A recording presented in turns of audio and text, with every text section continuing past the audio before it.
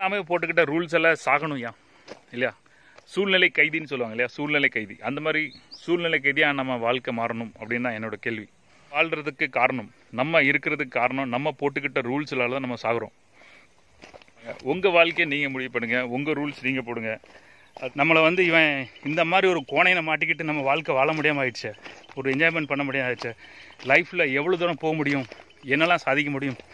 அப்படின்னு தெரியாமல் ஆயிட்டேன் அப்படின்னு வருத்தப்படணுமா?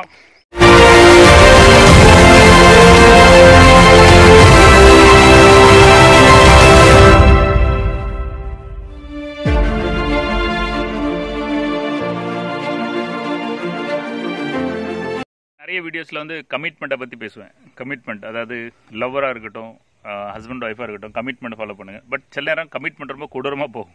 அதாவது யாராவது ஒரு கேனையன் கோணையை கல்யாணம் பண்ணிக்கிடும் அல்லது எவரா யாராவது ஒரு லெ லெப்பையை வந்து கல்யாணம் பண்ணியிருப்போம் ரைட் பொண்ணுங்களும் சொல்கிறேன் பசங்களும் சொல்கிறேன் அந்த மாதிரி லெப்பையை கல்யாணம் பண்ணிட்டு அது எதை கேட்டாலும் நான் நான் அது முடியாது இது முடியாது நம்மளை சாக அடிக்கும் என்ன பண்ண முடியும் சொல்லுங்கள் ஸோ சில இடத்துல அந்த கமிட்மெண்ட் ரூல் மீறி தான் ஆகணும். நமக்குன்னு வாழ்க்கை என் வாழ்க்கையை நான் முடிவு பண்ணுவேன். ஒரே ஒரு கேள்வி தான் அந்த மாதிரி நமக்கு நம்ம நம்ம வந்து கல்யாணம் முடிஞ்சு சந்தோஷமாக வாழலாம். நம்ம நினச்ச சந்தோஷமாக வரோம். இப்போ வந்து சில இட- இடங்கள்லாம் போகணும் வைக்கணும் ரொம்ப ஜாலியாக இருக்கணும் அப்படின்னு ஒய்ஃபை கூப்பிடுங்க. ஒய்ஃப் ஏ நான் ஆடல ஏ அப்படின்னு சொல்லிட்டு இருக்கீங்க. என்ன பண்ணணும்? அல்லது ஒய்ஃபு கூப்பிட்டாங்க ஹஸ்பண்ட் ஏன் வரமாட்டேன். அப்போ சொல்லிடணும் நீ வரலன்னா போடா நான் வேற எவனையாவது கூப்பிட்டு போகிறேன் சொல்லணும். காலம் ஃபுல்லாக இவனுக்காக சாக முடியுமா நம்ம? அல்லது காலம் முடியுமா இவளுக்காக சாக முடியுமா? எனக்கு தெரியல. சரியா தப்பான்னு சொல்லுங்கள் எனக்கு ஒரு சின்ன குழப்பம் அதனால். கமிட்மெண்ட் விட்டுட்டு போகக்கூடாது வேற பிரேக் பண்ணக்கூடாது. சரி ஓகே போகிற அளவுக்கு தேடி கொண்டு போகலாம் அது ஓகே ஆனால் காலம் ஃபுல்லாக நம்ம வாழ்க்கை அவ்வளோதானே தலையெழுத்து அவ்வளோதானே முடிஞ்சு போச்சு. இனி இவனோட வாழ்க்கை நம்ம வாழ்க்கை முடிஞ்சு போச்சு அப்படியா? இல்லாட்ட இவளோட வாழ்க்கை முடிஞ்சு போச்சு. ஏன்னா எதுக்கு எடுத்தாலும் நோய நோய அப்படின்னு நம்ம வாழ முடியாது முடிச்சுட்டு இருப்போம் அந்த மாதிரி ஒரு சூழ்நிலையில் இப்படி தான் வாழணுமா? என்ன பண்ணணும்? ஸோ ஒவ்வொருத்தரும் வந்து தன்னோட வாழ்க்கை இப்படி வாழறதுக்கு வந்து சூழ்நிலை கைதி அப்படி சொல்லுவாங்க. என்ன சொல்லுவாங்க? சூழ்நிலை கைது கிடையாது. நம்மளாக நமக்கு போட்டுக்க ரூல்ஸு இல்லையா கண்ணானாலும் கணவன் புல்லானாலும் குறிச்சன் நான் துரோகம் பண்ண மாட்டேன். அவர் அவர் வேஸ்ட் இல்லாமல் நான் எதுவும் செய்ய மாட்டேன். அப்படி இருந்தாங்கன்னா நல்ல ஒன்றும் பிரச்சனை இல்லை.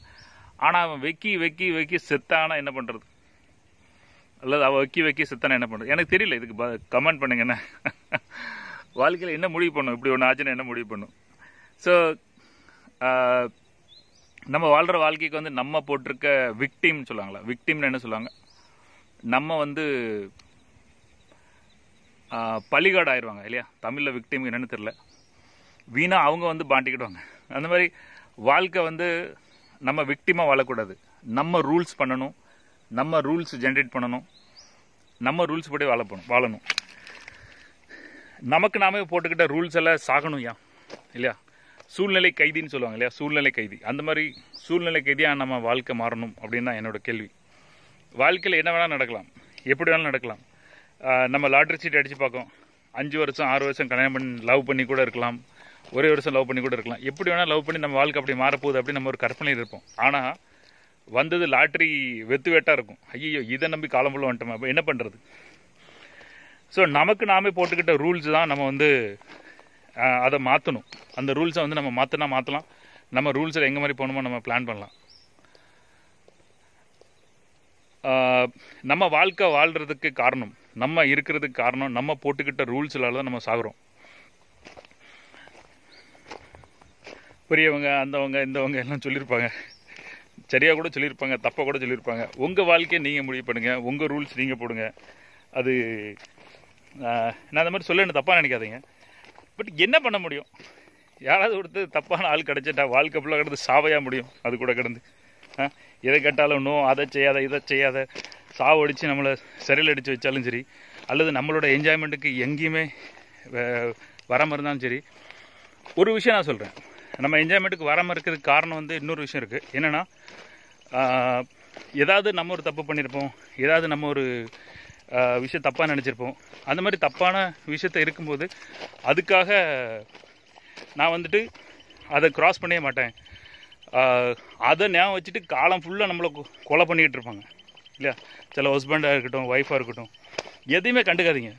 ஓகே லைஃப் நீங்கள் வாழ்கிற வாழ்க்கை நீங்கள் வாழணும். அவ்வளோதான் வாழ்க்கைங்கிறது ஒரு பக்கம். சாகுது கிடக்கும்போது ஒரு நிமிஷத்தில் இன்னும் கொஞ்சம் நேரம் செத்து போயிடும் அப்படின்னு கிடக்கும்போது வாழ்க்கை ஃபுல்லாக இப்படி வாழ்ந்துட்டோம்டா. ஒரு தப்பு பண்ணோம். அதுக்கு இப்படி போட்டு நம்மளை சாகடிச்சிட்டால வாழ்க்கையில் வாழ முடியாமல் பண்ணால அப்படின்னு தான் சரி. நம்மளை வந்து இவன் இந்த மாதிரி ஒரு கோணையை மாட்டிக்கிட்டு நம்ம வாழ்க்கை வாழ முடியாமல் ஆயிடுச்சு. ஒரு என்ஜாய்மெண்ட் பண்ண முடியாமல் ஆயிடுச்சு. லைஃப்பில் எவ்வளோ தூரம் போக முடியும்? என்னெல்லாம் சாதிக்க முடியும்? அப்படின்னு தெரியாமல் ஆயிட்ட. அப்படின்னு வருத்தப்படணுமா? இல்லைன்னா உங்கள் வாழ்க்கையை வாழ போகிறீங்களா